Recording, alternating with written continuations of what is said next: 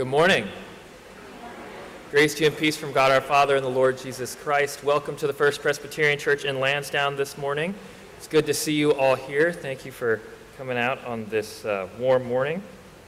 Uh, we've got a few announcements this morning, uh, not just from me, but from some other members of the congregation. So we're going to go ahead and uh, go through that. If you are joining with us on Zoom this morning, we uh, invite you to put your prayer requests into the group chat now so that we can recognize those when we get to that point in the service. Uh, Mary, our administrator, is still on vacation. She'll be back Thursday this week, so the office is closed through Wednesday. If you need to get into the office before that, um, I will be here. I'll be around. Just call or email or text me to make sure that I'm in the office before you show up and nobody's there. Um, and I think those are the two that I have. Penny, is Penny still outside helping? Okay, well, I will give Penny's announcement then. Uh, so, Penny Klingler uh, is president of the Interfaith Food Cupboard. The Food Cupboard uh, is looking for some more volunteers uh, to help on Mondays and Wednesdays, um, which is when they uh, distribute food uh, from 4 to 6 in the afternoon. And it's a great time, it's a great way to get to know some members of the community, and they're always in need of more help. Specifically, they just got a donation of food this morning um, and are going to probably need some help after worship, uh, putting some of that stuff away. So if you've got a few minutes after worship, uh, I'm sure that they could use your help down in the food cupboard. I think that was the gist of the announcement. Is that right? Okay. All right, so we've got two more. Uh, Lusana is going to come up and talk a little bit about lemonade on the lawn, and then Margaret will give our visitor welcome, and then we will get started with worship. Thank you, Pastor. Good morning, family. So, lemonade on the lawn. Oh, the mask. I tell you, it's becoming part of my face. uh, good morning, family. So, lemonade on the lawn will come to a close once the heat really changes. I decided to try to, well, we decided to try to extend to some given the climate situation we're living under. So, normally, coffee hour would start and we'd have the nice hot coffee for you guys, which we don't want to think about right now, but um, we're going to extend the lemonade on the lawn for a bit. We're going to continue outside also once we do start up the coffee hour, um, again, given the heat and our COVID situation. So the other thing is Franks and Families coming up um, September 11th. With all those in mind, we're looking for donations, volunteers, or monetary donations, especially volunteers. Um, there's going to be a donation uh, bowl or a cup or some little basket or something out on the tables during Lemonade on the Lawn and Coffee Hour to help with that. Or if you have donations you want to give to me personally, you can do that as well. But please look to volunteer. I'm going to put together a sign-up sheet um, in the very near future um, uh, you can always talk to me about it, or Margaret, and, and let us know if you want to volunteer. That'll be grateful. But there'll be a sign-up sheet that you guys can maybe look over and select a date you maybe want to host, or if you want to maybe aid in the hosting. I, I, that would be good too. It is a bit much for maybe a one or two person team um, week to week, so it'd be nice if we can get some participation. Uh, Franks and family, we're looking for donations with that. If you guys remember or don't know about it, um, September 11th, we have Frank's available after service with drinks and hopefully maybe some fruit for dessert. And again, announcements will be further with that. But bear in mind, maybe some donations for dessert um, to go along with that would be nice. And help for that will definitely be needed as well. Um, any further information, you can talk with me or Margaret. And thank you very much.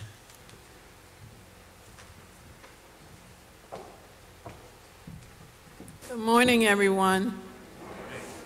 Um, I don't see anyone new for, or here for the first time. At least um, Eleanor didn't mention anyone.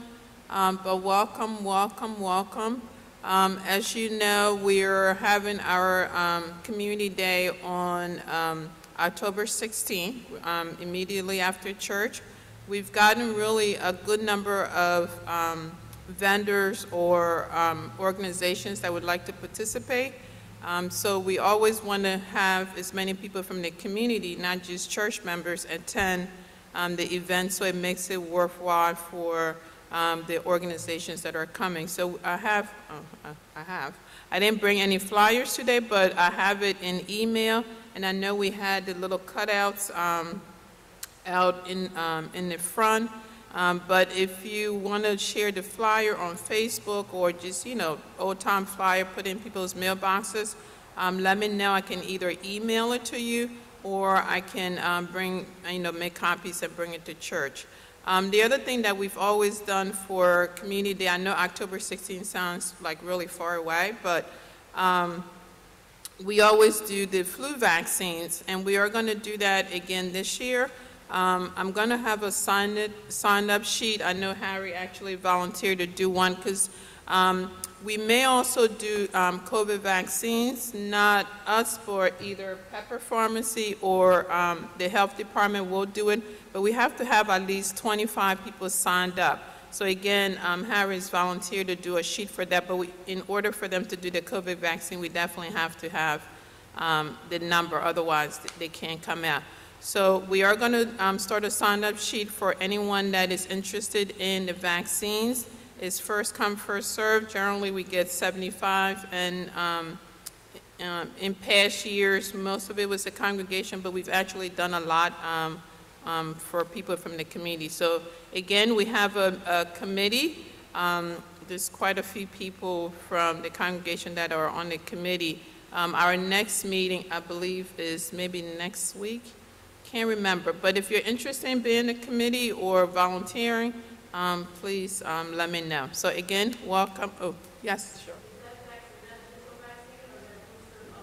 Oh, um, it's, I believe it's boosters, but if, again, if we have enough people, they'll do first vaccine and all of that. The health department will do it, and also um, Pepper Pharmacy would do it.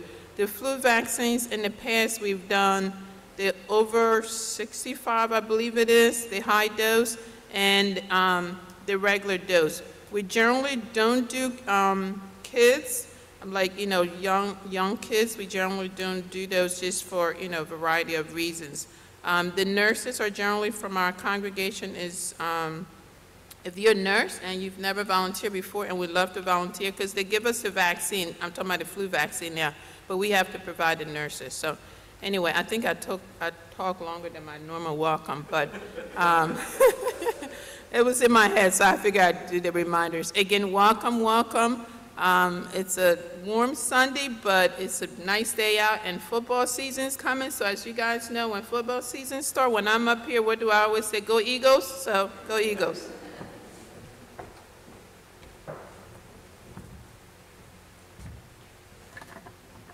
Good morning, church.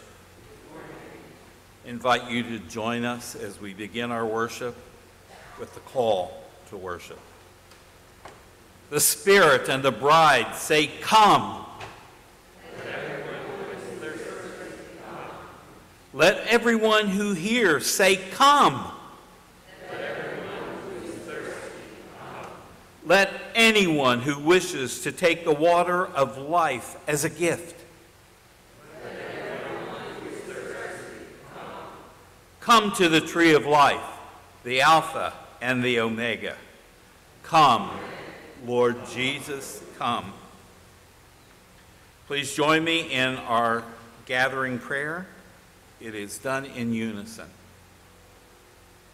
O God, who opens our prison doors and releases us from our faults, keep us near to you in the hours of each day that by the power of the prayer Jesus prays for us and the light of your word, we might drink of your living water, know true joy, and serve you to the end of time. Amen. Our hymn of praise is When Morning Gilds the Skies, number 487.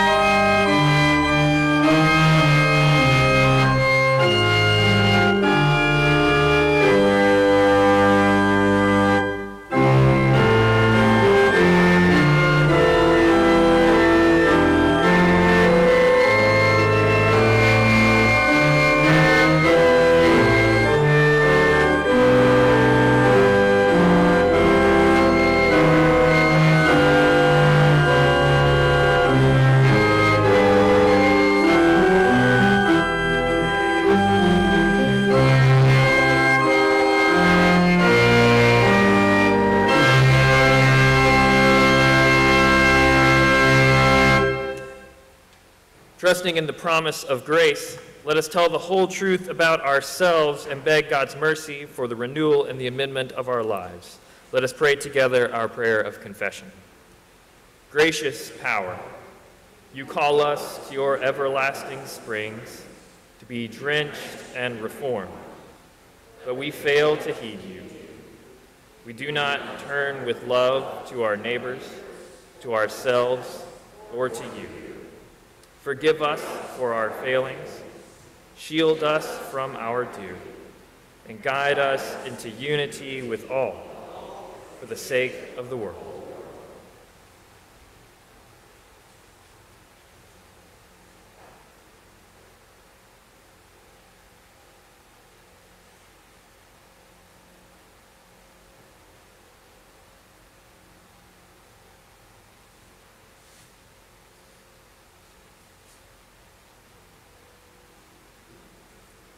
God, in your mercy, hear our prayer.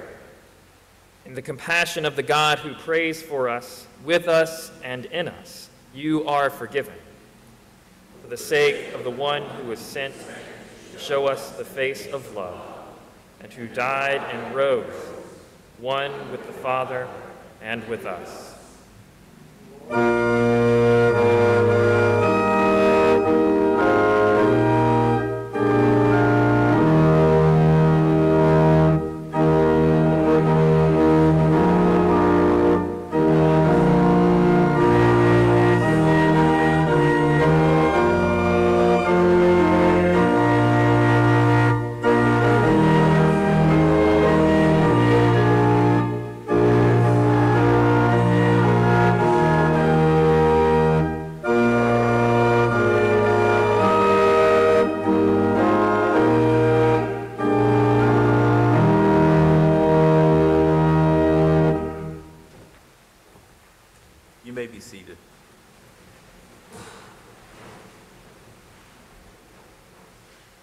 Join me in our prayer of illumination. Holy God, whose voice is heard in the thunder and in the silence, speak to us now by the power of your Spirit, that we may hear your word for us today. In Jesus' name we ask it. Amen.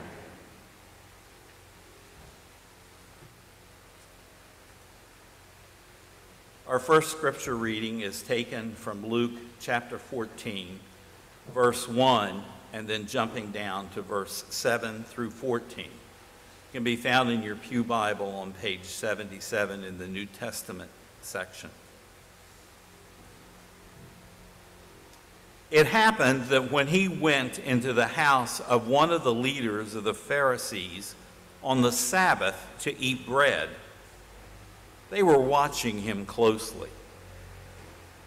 And he began speaking a parable to the invited guests when he noticed how they had been picking out the places of honor at the table, saying to them, When you are invited by someone to a wedding feast, do not take the place of honor. For someone more distinguished than you may have been invited by him. And he who invited you both will come and say to you, Give your place to this man. And then in disgrace, you proceed to occupy the last place. But when you are invited, go and recline at the last place, so that when the one who has invited you comes, he may say to you, Friend, move up higher. Then you will have honor in the sight of all who are at table with you. For everyone who exalts himself will be humbled, and he who humbles himself will be exalted. And he also went on to say to the one who had invited him, When you give a luncheon or a dinner, do not, do not invite your friends or your brothers or your relatives or rich neighbors. Otherwise, they also may invite you in return, and that will be your repayment. But when you give a reception, invite the poor, the crippled, the lame, the blind, and you will be blessed, since they do not have the means to repay you. For you will be repaid at the resurrection of the righteous. The word of the Lord.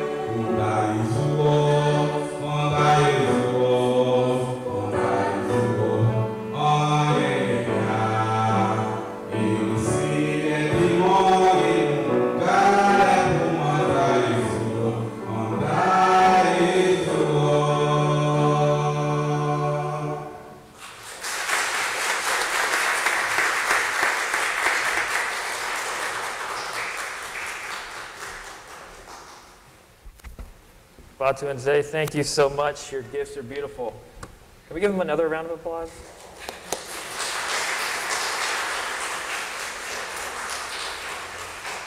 I want to invite all of our uh, children up for our children's sermon now.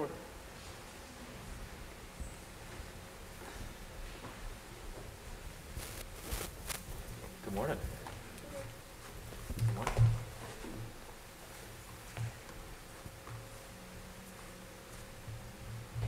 Good morning.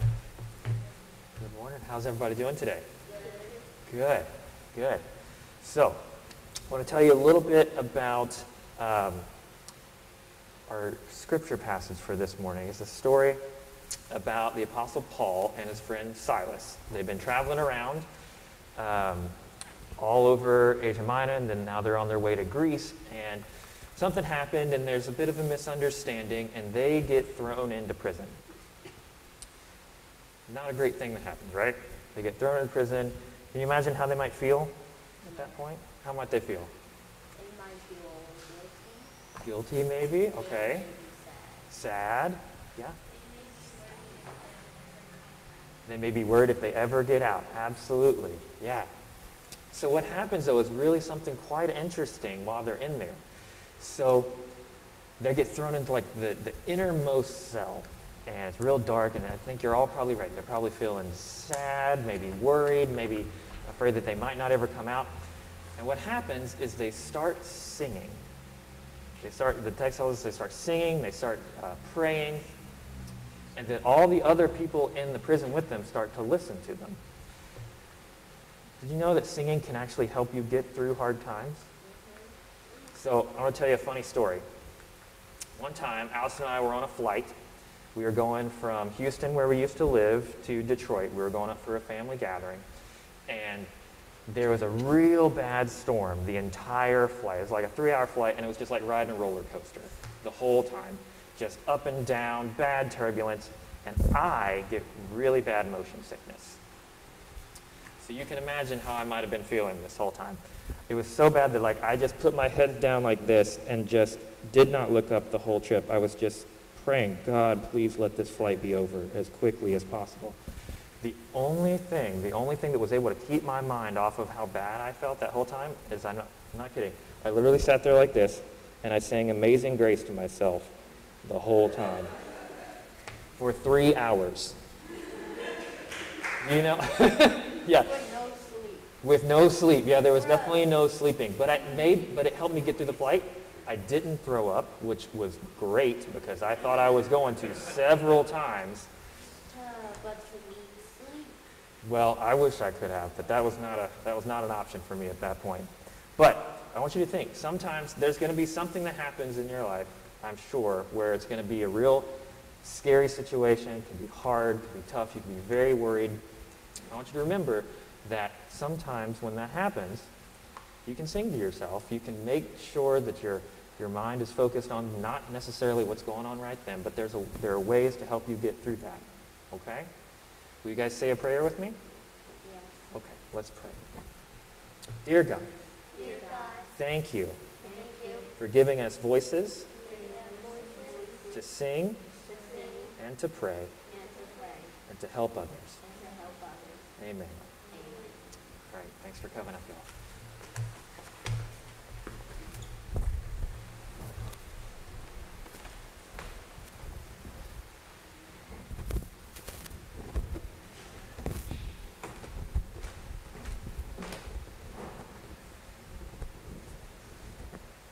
Unfortunately, that is a very true story. One that I hope to never have to repeat. So, our text this day, uh, if you're paying attention at home, is uh, out of the typical lectionary cycle. We're moving away from that just for one week. One of the um, preaching groups that I'm in is we decided that it would be a good idea for us all to preach on the same text in one Sunday, um, which is nor- not normally the case. Uh, but here we are. So if you're if you're worried about moving off the lectionary, as I know many people are, know that there are know that there are at least three other Presbyterian churches around the country that are looking at this text today. So let's get a little bit of an orientation about where we are. We're in the second half of the book of Acts, um, which has been following sort of the movement of the Spirit through the disciples, sort of going farther and farther away from Jerusalem. Um, and now we've focused, we've shifted our focus away from sort of the, the 12 disciples and moved specifically to the travels and the works of the Apostle Paul. Paul's just returned from a recent trip to Jerusalem, uh, where he now begins focusing even more on this mission to the Gentiles. And after a quick little trip through Asia Minor, where he had been before that, he's now gone into Greece and specifically to Macedonia. And uh, we first catch him uh, in the Roman colony city of Philippi, um, made famous for where the Paul's later letter to the Philippians comes from. Uh, this is a city made up mostly of retired Roman legions. Uh, Julius Caesar had famously restored this city um, after, after uh, his wars, mainly mostly of, of Roman uh, legions and Roman soldiers. And so that has a lot to do with the identity and the reputation of the city. And so upon first arriving here, uh, he's been told about a place of prayer outside of the city, and this is where he meets uh, the, the famous single businesswoman uh, Lydia, who is the seller of fine purple cloth. She becomes baptized with those around her, and that's where the story picks up. We're sort of in that same place of prayer outside of the city of Philippi. So listen now to the word of the Lord. This is Acts 16, 16 through 34.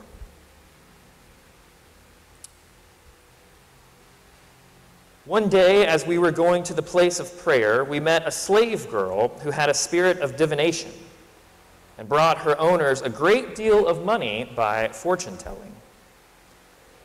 While she followed Paul and us, she would cry out, These men are slaves of the Most High God, proclaiming to you a way of salvation.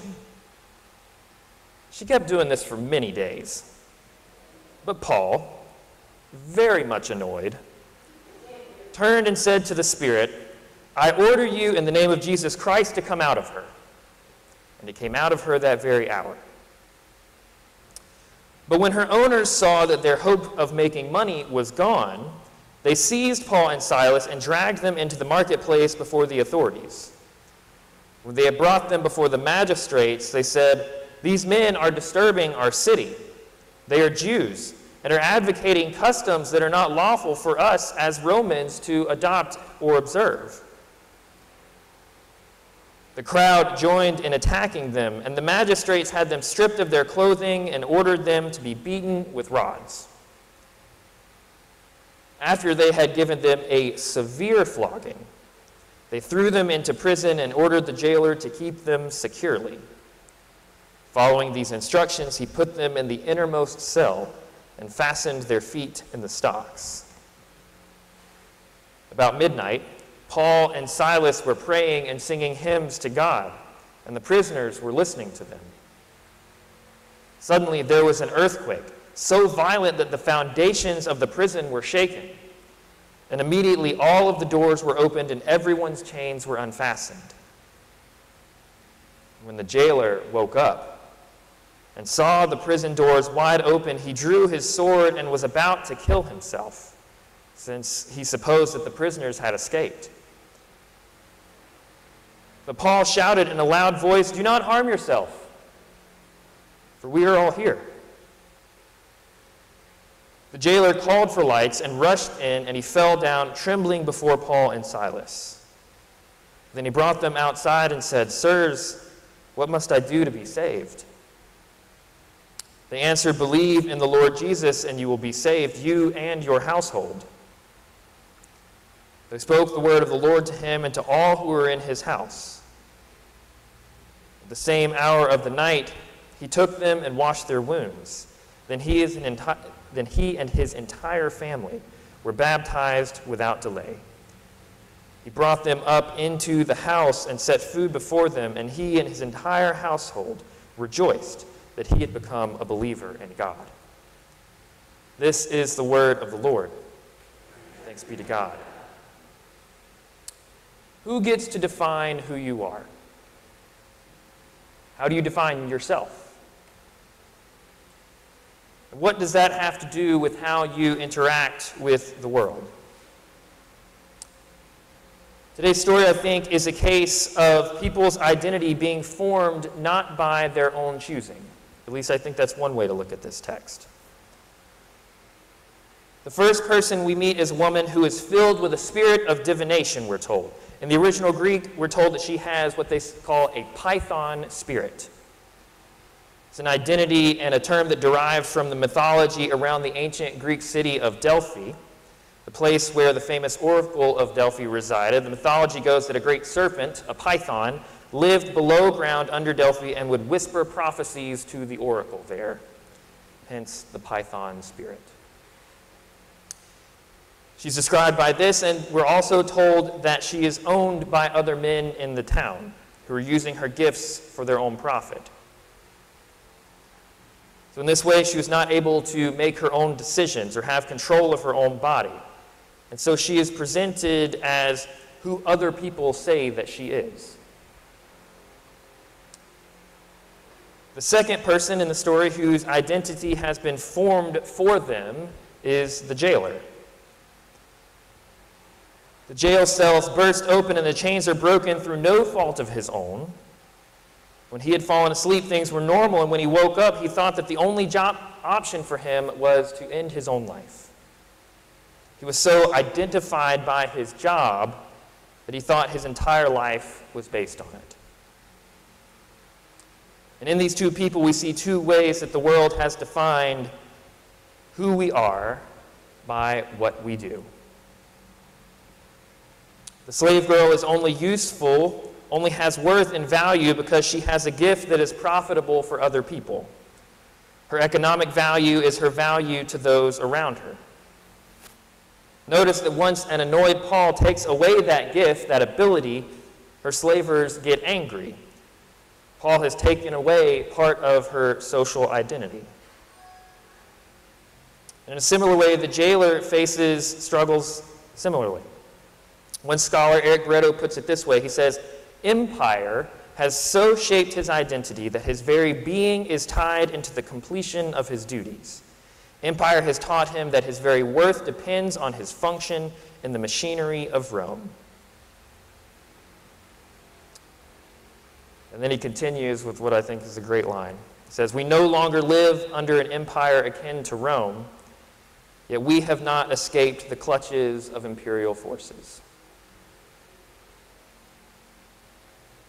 How do we think of ourselves? How do we define who we are?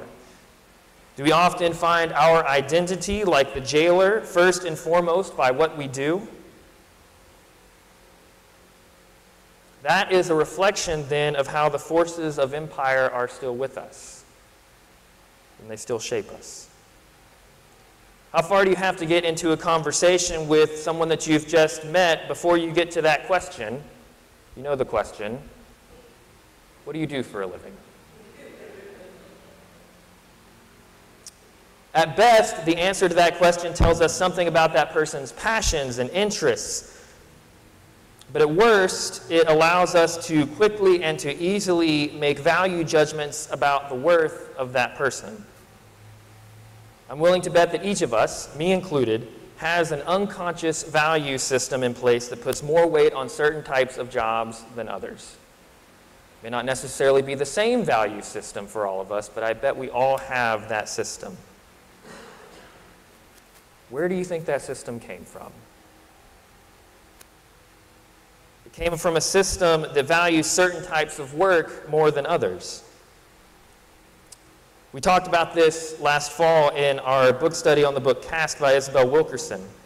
She talks in that book about how a caste system, in that system, certain occupations are assumed for certain castes of people. We assume that certain types of people are predetermined to fulfill some job roles. What happens then is that that gets ingrained into our subconscious, into our psyche.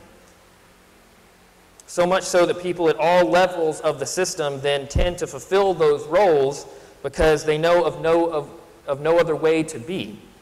Or even if they see it, they have a hard time breaking out of that system. In our society, that mindset that system is exacerbated and sustained by white supremacy, where we put value judgments and assumptions on people based on what they look like, based on the color of their skin. Friends, that is not a system of living or finding identity based on the gospel. The gospel, in and of itself, is a radical anti imperial and counter-cultural mindset where the least become first, where the rich are sent away hungry, where there's good news for the poor and the oppressed, where the debts are forgiven and captives are set free. So, just as an experiment, what would happen if we stopped asking that question? What do you do for a living? Or what do you want to do for a living? and instead based our judgments and our relationships first and foremost on the fact that each person that we meet is made and reflects the image of God. And as a reminder that that goes for the people that we love and the people that we cannot stand. I'll tell you, for me, just the simple act of, since when that was brought up to me, when that was pointed out to me, trying to go through conversations, meeting new people, and not asking that question, what do you do for a living, has been difficult. I've been trying this for like at least a few years now. It is more difficult than it might seem. But if we can move away from valuing people only for how, how they do or don't contribute to the economy, we can live into that gospel centered reality that sees us all as fully and equally valuable and equally worthy of life and of love. That type of mindset change can change communities. It can bring people together. I know because I've seen that happen.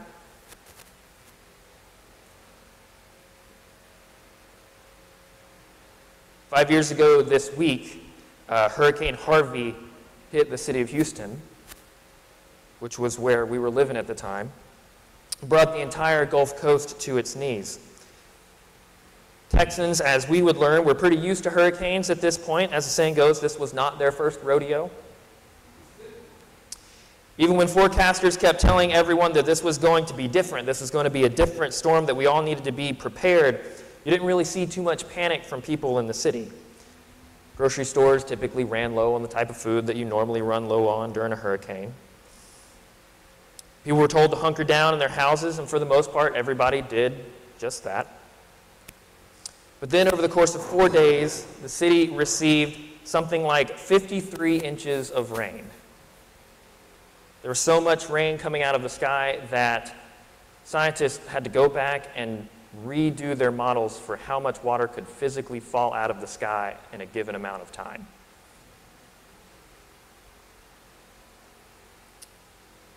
So there were homes that were flooded and destroyed. Some parts of the town were obviously hit worse than others. But near the church that I was uh, associate pastor at, people who thought that they had weathered the storms, that their homes had, be, had been spared through this whole thing, woke up in the middle of the night to find feet of water in their house that had not been there when they had gone to bed just a few hours before.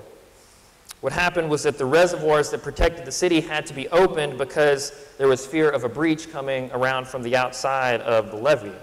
And there wasn't enough time to inform everyone and let alone evacuate anybody out of the town. So, for the five days after that happened, uh, the church sort of inadvertently uh, opened its doors and sort of functioned as a makeshift shelter. It was literally fly by of the seat of your pants. We were not uh, prepared for this kind of thing. But what happened was, during that devastation, almost everyone was put on an equal playing field. The hurricane didn't care if you were rich or if you were poor, it had no bias on who it destroyed. What I saw during that time, especially at the shelter, was when people choose to see each other as equals, things change. People who would normally never interact with each other were bringing meals to each other. They were opening their homes for showers. They were organizing donations. They were caring for each other's pets.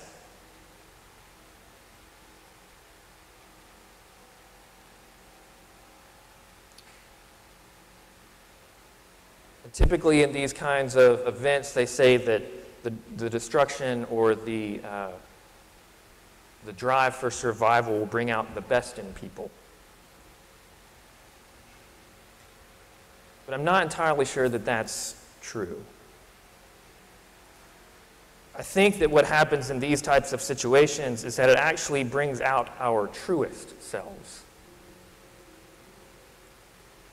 The people who we can be when we peel away all of the masks and the facades.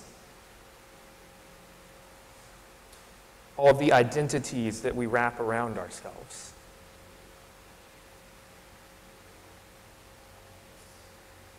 Now, unfortunately, that type of camaraderie faded as the days passed. But what it did was it showed me that the ability for us to move beyond judgments based solely on economic value is there. Only if we would trust ourselves to do it. We have to choose to do it.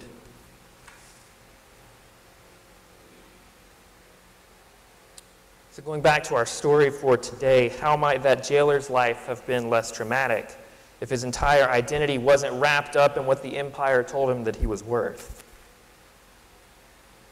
How would that slave girl have been valued if she wasn't only seen for the profit that she could bring to other people? And how might our lives be better too if our first assumption about anyone we meet is that they are a reflection of the image of God?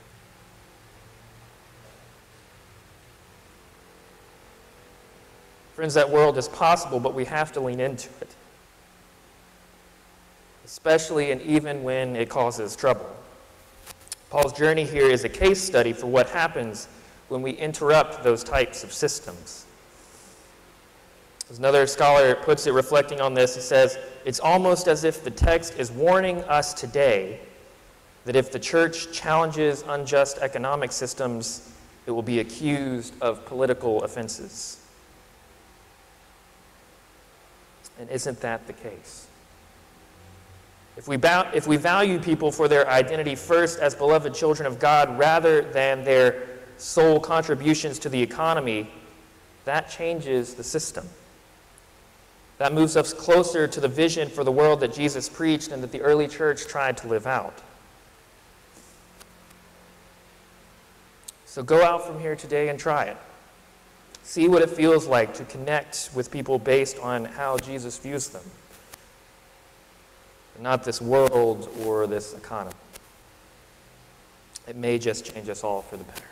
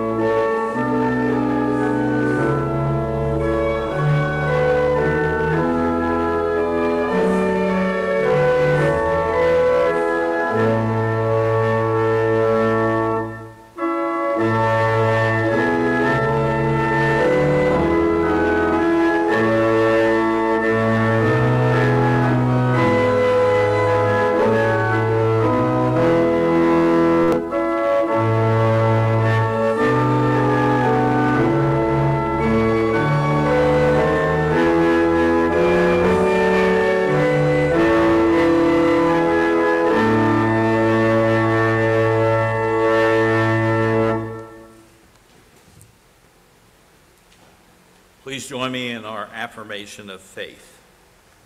We will report, respond to what we believe with the Apostles' Creed. I believe in God, the Father Almighty, maker of heaven and earth, and in Jesus Christ, his only Son, our Lord, who was conceived by the Holy Spirit, born of the Virgin Mary, suffered under Pontius Pilate, was crucified, dead, and buried.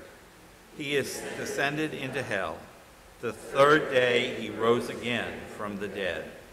He ascended into heaven and sitteth on the right hand of God the Father Almighty. From thence he shall come to judge the quick and the dead. I believe in the Holy Spirit, the holy universal church, the communion of saints, the forgiveness of sins, the resurrection of the body, and the life everlasting. Amen.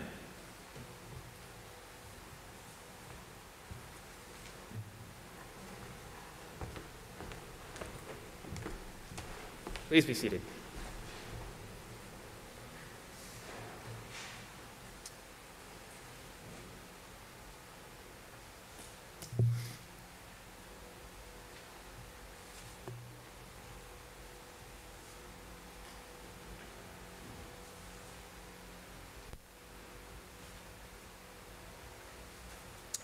Friends, what joys and concerns do we have this morning?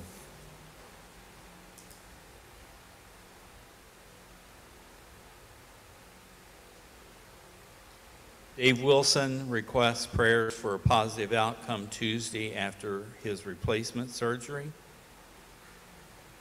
God, in your mercy, our prayer.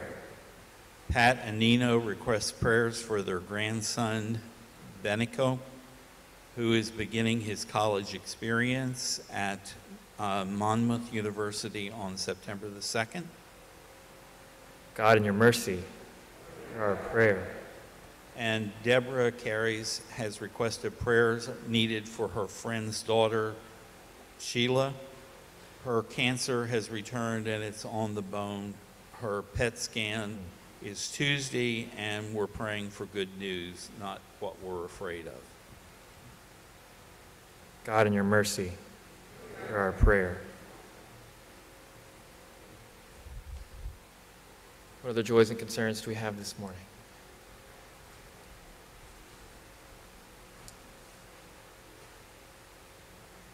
For our friend Roy Robson, who gave a presentation about Ukraine earlier on, whose cancer has returned.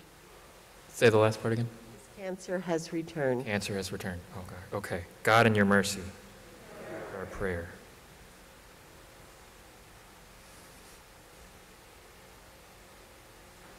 Prayers for the family of Dan Hamilton. He died on Friday. He, my husband hired him, and they were friends for over 40 years. God, in your mercy, hear our prayer.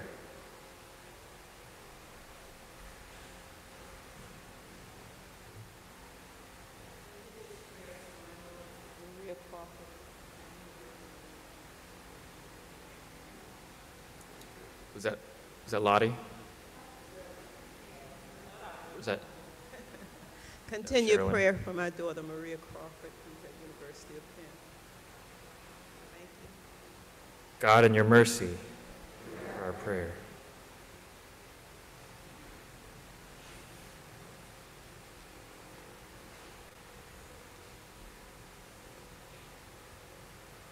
Yeah, I want us to pray for my uncle Alfonso Gay. He is a member of this church. He went to Liberia, uh, let's say four, five months now. He has been sick from cancer. Thank you. God, in your mercy, hear our prayer. I want you to please help me to pray for Mr. Joe, Pastor Nasi's husband, to get better soon. Thank you. Absolutely. God, in your mercy, our prayer.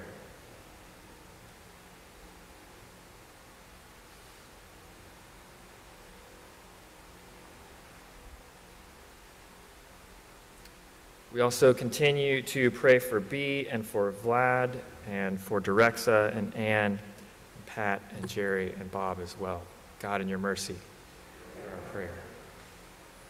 I want to pray for all the teachers that are going back to the classroom these next coming weeks.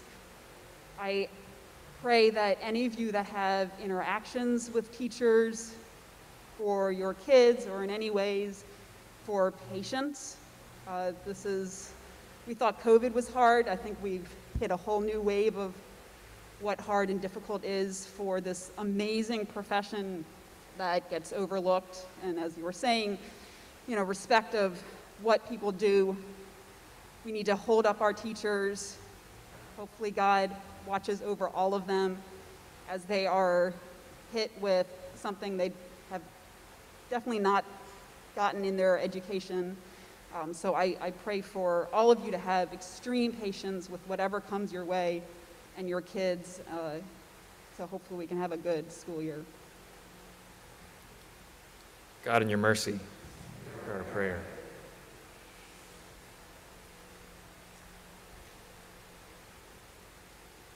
Pray for a Sunday school that starts in two weeks. God, in your mercy, hear our prayer. Friends, with all these things and more on our minds, let us go to God in prayer this morning.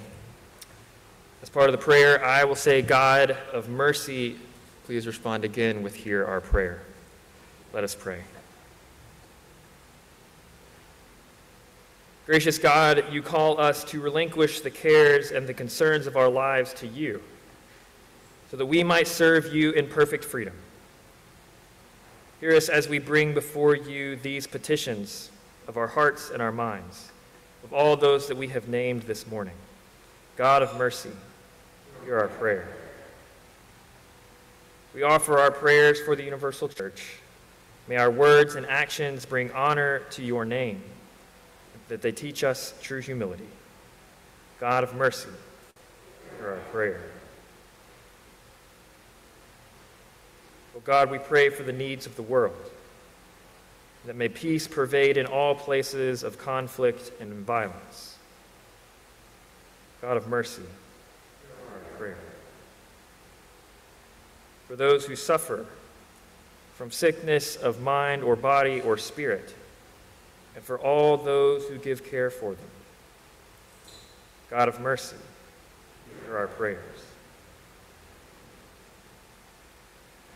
For those who now worship in the presence of Christ, and those who will this day, God of mercy, hear our prayer. Almighty God, you call us to follow you with faithfulness, even when it challenges our relationships and our values of our culture. Help us to release our fears, nurture us in your ways, and sustain us as we seek your peace. We ask all of this through your Son, Jesus Christ our Lord, who taught us to pray together, saying, Our Father, who art in heaven, hallowed be thy name. Thy kingdom come, thy will be done, on earth as it is in heaven. Give us this day our daily bread, and forgive us our debts as we forgive our debtors. And lead us not into temptation, but deliver us from evil. For thine is the kingdom, and the power, and the glory forever. Amen.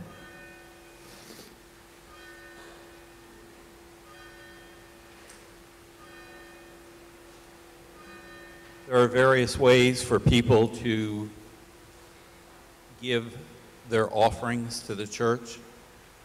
Um, for those on at home, they can either mail in or you can make a contribution online. We also use Tithely as a means for collecting uh, funds. Give now with generous hearts that all people may hear God's word and be helped by the work of this church. Amen.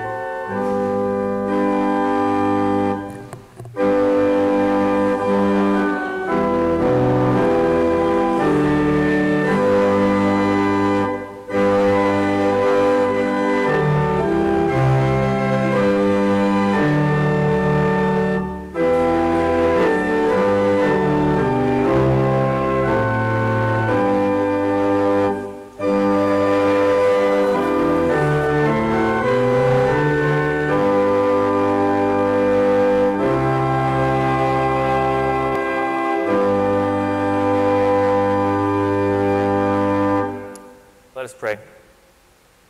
Eternal God, who brings joy out of sorrow, plenty out of want, and life out of death, we thank you for the treasures of the earth, your creation filled with your blessing. For it was in company with these earthly things that your Son came to dwell, showing us the enormity of your love. Because of Jesus' resurrection from the dead, we too are brought to new life, called to pray and work for the renewal of others. So take these offerings for the sake of the one without whom our poverty would be extreme, Jesus Christ our Lord. Amen. Please remain standing as we sing the first and fourth verse of our final hymn, Blessed Be the Tie That Binds.